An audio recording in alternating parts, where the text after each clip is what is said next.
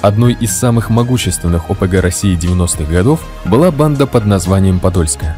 Ее основателем и бессменным руководителем является предприниматель из Подольска, почетный житель этого города Сергей Лалакин по кличке Лучок. Лалакин не был судим, однако сообщалось, что он два раза становился участником хулиганских потасовок. Впрочем, дела до судов не дошли. Окончив ПТУ, Лалакин отслужил, а уже после срочки в конце 80-х встал на преступный путь. По информации открытых источников, он вместе с приятелями занимался рэкетом, игрой в наперстки и махинациями с валютой. Но все это были цветочки, которые в будущем сделали из Лалакина криминального аса, способного подкупить целое следственное управление. В истории подольской банды было немало внутренних разборок из-за борьбы за власть. Однако всех пережил именно Лучок. Все претенденты на роль главы ОПГ со временем отошли в сторону. Под руководством Лучка группировка взяла под свой контроль, кроме собственно Подольска, Чеховские и Серпуховские районы Московской области и большинство находящихся на этой территории коммерческих организаций, в том числе банков, нефтяных компаний и даже продюсерских фирм. К середине 90-х банда стала одной из самых организованных и богатых преступных группировок Москвы.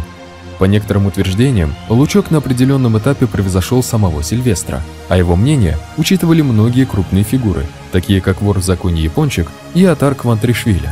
Вплоть до середины 90-х подольские в кровавых боях отвоевывали себе место под солнцем.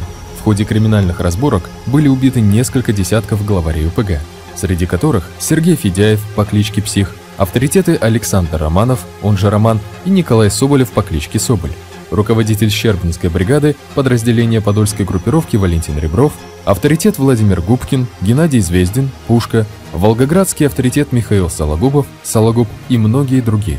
Примечательно, что у некоторых из этих преступлений были свидетели, которые указывали на Лалакина. Однако ни в одном из этих дел он в качестве обвиняемого не фигурировал. Впрочем, 10 октября 1995 года Лалакин был задержан главной военной прокуратурой России. Ему предъявили обвинение по статье мошенничества. Однако через некоторое время и это дело сошло на нет. В середине 90-х годов криминогенная обстановка в Подольске и его окрестностях стабилизировалась. Это было время перевоплощений, когда браткам пришлось вылезать из неактуальных спортивок и облачаться во что-то более презентабельное. Тогда Лучок впервые заявил о себе как об успешном предпринимателе – Стало известно, что он вошел в совет директоров ряда компаний и стал теневым учредителем фирм «Союз Контракт» и «Анис». Контролировал центральный международный туркомплекс, фирму «Аркада» и «Метрополь».